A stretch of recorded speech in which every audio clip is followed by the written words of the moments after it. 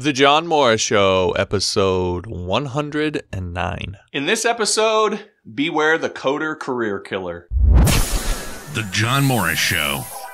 Your life on code.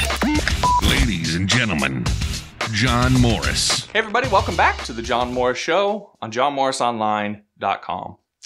You know, I find it kind of interesting because I bet if you told most new developers that was going to take them a year to learn a language like PHP, they'd probably throw themselves on the floor into fits of, fits of rage and desperation, frantically repeating, not me, not me.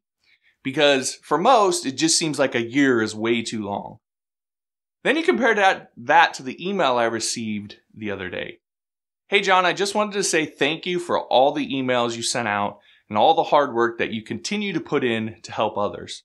I really appreciate your concern for guys and girls who need guidance in the world of web development. Now, just a few lines about me. I'm a front end developer. I am working as a front end developer intern. I just got this position a week ago. I really, really like this coding stuff, and I've only been learning to code by myself a year now. Anyway, thank you for your tips and help. I greatly appreciate all of it. So, one year, and he landed himself an intern position. So, should he be disappointed or frustrated that maybe he hasn't gotten further in that one year's time, like probably a lot of developers might be? Hell no. Now, let me frame this same question or the same scenario a little bit different way. So let's say that you're 25 years old, or maybe you're 30 or 35 or 40, whatever, whatever age you are. What if I told you that one year from now, you could acquire the skills necessary to propel, your, propel yourself down an entirely new career path? That you love what you did on a daily basis, you'd work on projects that mattered, you'd work with people who were like you and really got you. You'd make good money doing it and you'd have the whole rest of your life to do it. Would that one year seem like such a big deal then? Probably not. And so the point is patience. It's like Gary Vaynerchuk always says. So in early 2006, I started Wine Library TV. And for 19 months, I did that show five days a week and nobody gave a crap. So when I get emails, which I get 50 of them a day from entrepreneurs who are like, Hey, I know you always talk about patience. I've been doing this and it's not working. Should I give up and do something else? And I'll inevitably email back and be like, how long have you been doing it? And they'll say, Oh, four months.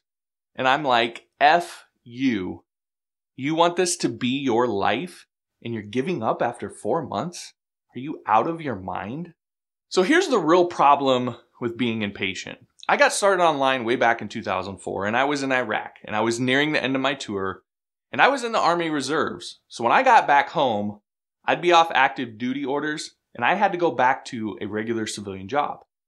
On top of that, my wife and I were getting divorced, and my dad had been diagnosed with cancer and diabetes while I was there, so I had used all of my leave to go back home and see him. So I had about three days of leave left. So I knew that I had about a max of three or four days right back from Iraq, and then I was going to be thrown kind of back into the wolves. And I had no job, no car, and I had no place to live because I was in the middle of a divorce. So honestly, at that point, I can remember I was absolutely terrified. And I remember the day that I got released from Fort Riley and I was officially done with my Iraq tour. That, that day I drove about two hours from Fort Riley to my brother's house in near Omaha and my mom and a few nieces and nephews were there and they'd heard that I was coming. So in that time, when I got there, they had made a whole bunch of cards for me and you know they said things like welcome back glad you made it home safe all that kind of stuff at that point where i was uh, in my life, I couldn't handle it. And I went in the bathroom and I just bawled for about an hour because I was so stressed out and overwhelmed.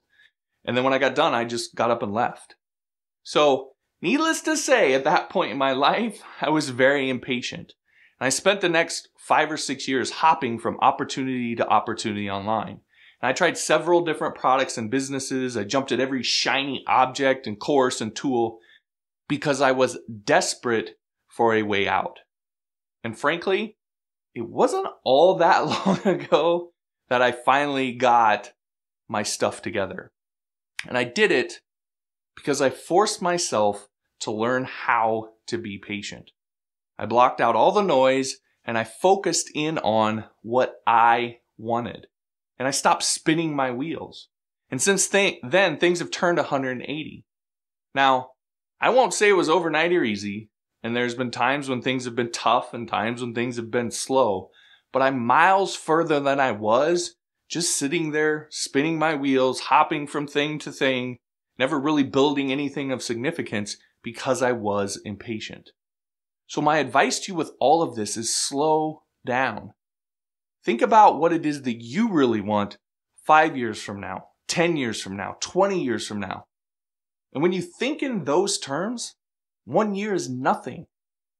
It's just a step in the overall strategy of you designing your career and your life, which is what you should be doing. And strategy requires discipline. It requires patience. Now, let me get a little bit weirder on you for a second because there are some very specific things that I do on a daily basis that others might think are strange that help me to build up my patience. That's because to me, patience isn't something that just happens. It's, it's more about than just willpower. It's like a muscle and you have to build it up. Now, the exciting thing about that, the fact that you need to do that, is that you can do that. So I just uploaded a PDF over on Patreon that steps through those weird exercises I do to build up my patience. And this has been one of the most powerful parts of my transforming my life. And you can get it as a patron over on Patreon at any level. So if you'd like to get access to that and support the show so I can keep creating this content for you and I don't have to move back to focusing on clients, if you'd like to do all that, you can learn more at johnmorrisonline.com slash Patreon. And I'd really, really love to see you over there. All right, everybody, that'll do it for this episode. If you like this episode, be sure to like it so that I know that you like this kind of content.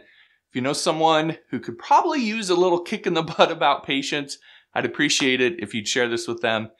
And if you haven't yet, be sure to subscribe so that you never miss an episode. Again, thanks for watching, and we'll talk to you next time.